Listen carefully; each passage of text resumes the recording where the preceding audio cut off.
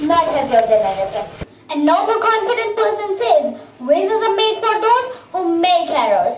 A confident person says, races are made for those willing to to correct this error.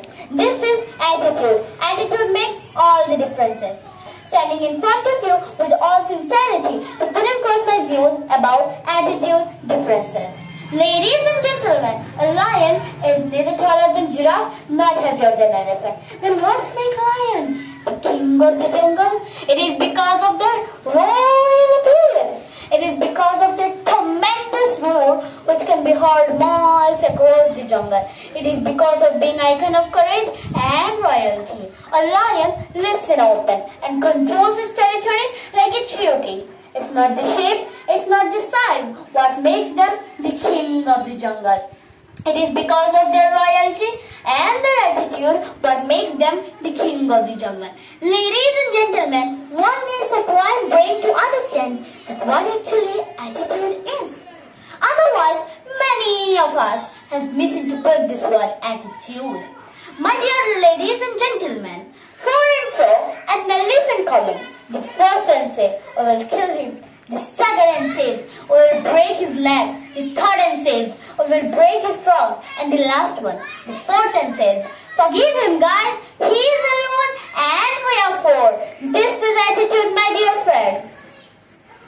Thousands of birds fly in the air. Then why speak eagle, the loyal of the sky?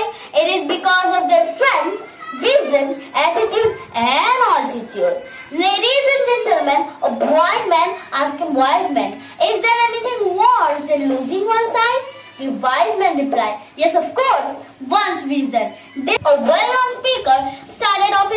his holding up a hundred dollar note in a big auditorium. He asked, who want to have this hundred dollar note? Hand started rising in the air. He said, I'm going to give this hundred dollar note to one of you. But at first, let me do something to this note. He crumpled the note and asked again, who still want it? Still the hands were up in the air. Spilled on it and asked again, who still want it? Still the hands were up in the air. He threw it on the ground and started grumbling it with his shoe and asked again, Is there anybody who still want it? Still the hands were up in the air.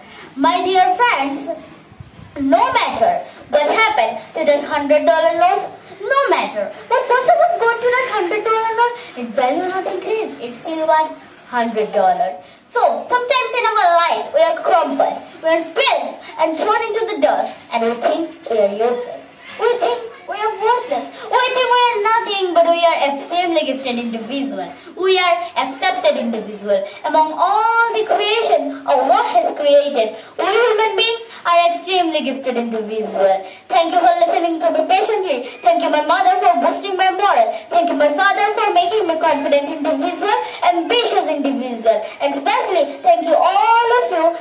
your inspirational comments and motivating us. Thank you very much and have a wonderful day. Thank you.